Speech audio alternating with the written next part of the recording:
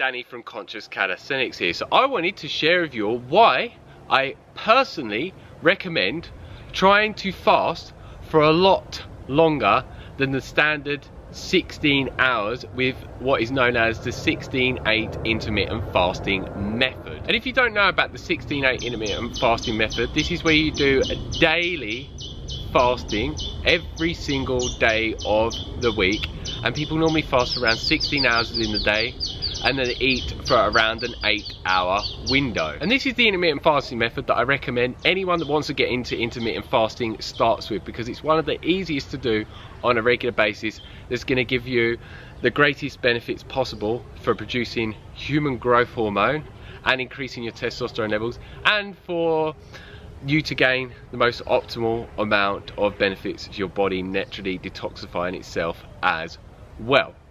And as I've mentioned in other videos, is you can get an increase in testosterone levels anywhere from 200 to 400% as a male and human growth hormone levels around 2000%.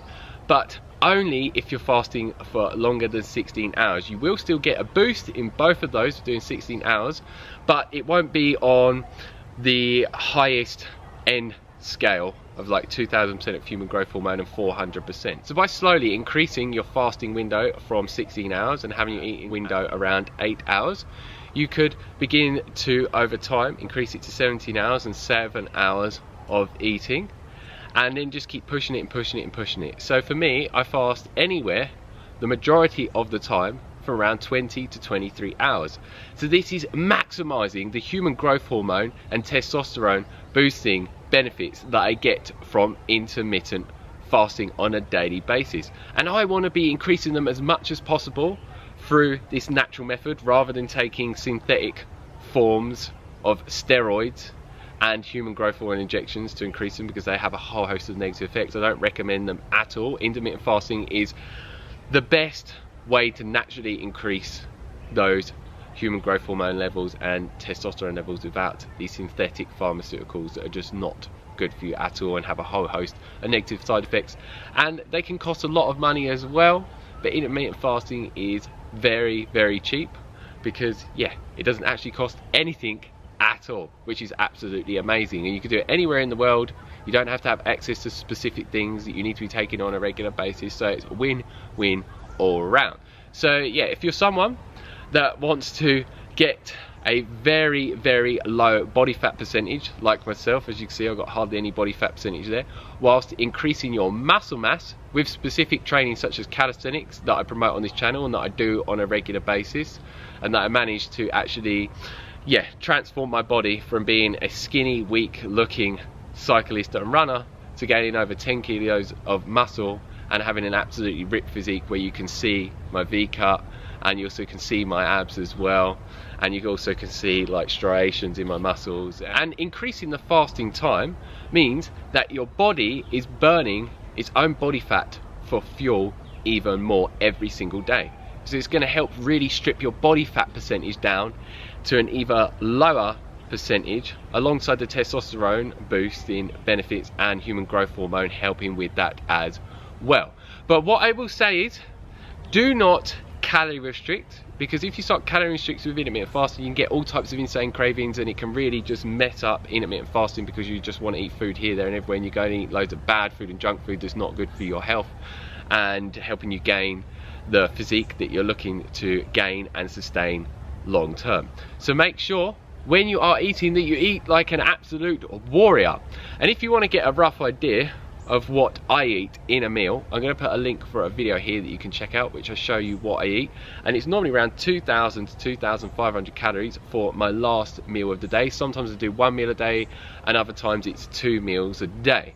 So yeah, make sure how many calories you normally eat within a day that you shorten it all within your eating window. And if you're someone that's not used to eating large meals, you just need to train your body to start getting used to bigger meals. So slowly start increasing the amount of food that you're eating in one time. Your body will adapt to that. And it's brilliant because so many people out there in the bodybuilding movement go from bulking to cutting, from bulking to cutting.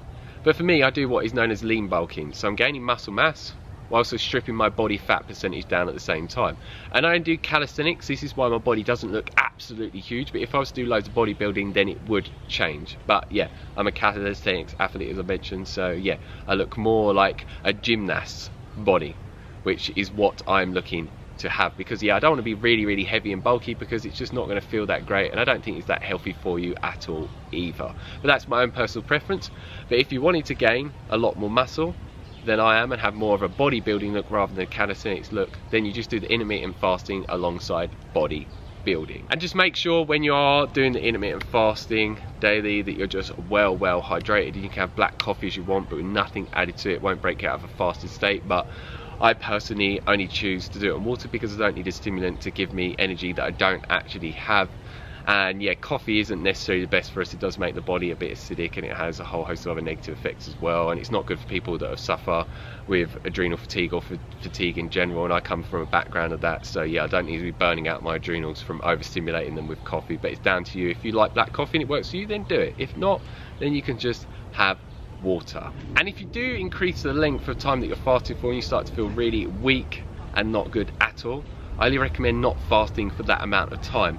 But if you're someone that's not enough calories, this is one of the reasons why it can happen. So make sure next time you do it, you increase the amount of calories you're eating in a meal. And if you still don't feel good doing the amount of time that you're trying to fast for, then shorten it down to a length of time that you actually feel good with. And then slowly, slowly increase the amount of time that you're intermittent fasting for daily and you could increase it anywhere from around half an hour to an hour or even 15 minutes so find what works best for you and gradually ease into it. But if you're someone like myself I felt that I could drastically increase the time that I was fasting for and feel really amazing. So listen to your body and yeah make sure that if you're not feeling good you listen to those signs and do what is necessary and eat if you need to eat and break a fast early or not. And what I say some days yeah I do fast around 16 hours but the majority of the time I don't anymore but the times that I feel that I should be breaking my fast earlier, I always make sure I'm at least doing 16 hours and then I'll break it.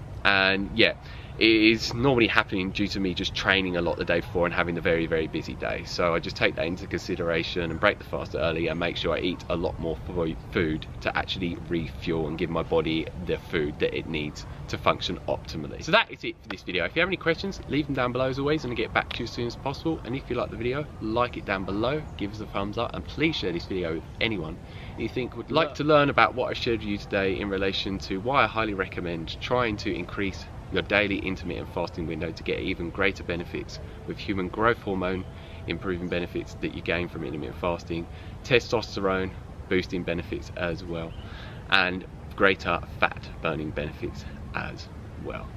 And if you haven't already, hit that subscribe button down below to receive a lot more videos from me on a regular basis talking about intermittent fasting, calisthenics, healthy living, healthy eating, vegan, plant-based diets as well and many other different things to help you go in direction of achieving the fitness levels you desire, the energy levels and the physique that you dream of having as well.